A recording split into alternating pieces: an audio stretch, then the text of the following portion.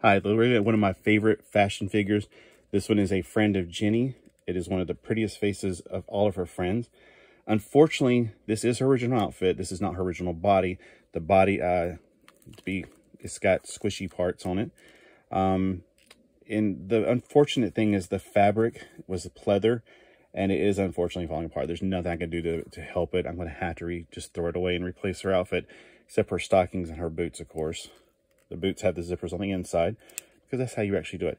Like, again, the body is not her original body. I got it because it's double jointed and uh, it has other features that I was not aware of at the time. But anyway, she has her own earrings in and uh, her ponytails have fallen out because they were held together by, you can see the remnants of the rubber band. So if you like Jenny or Licca and you have this particular doll, let me know below because it's a hard thing to try to find any information on these.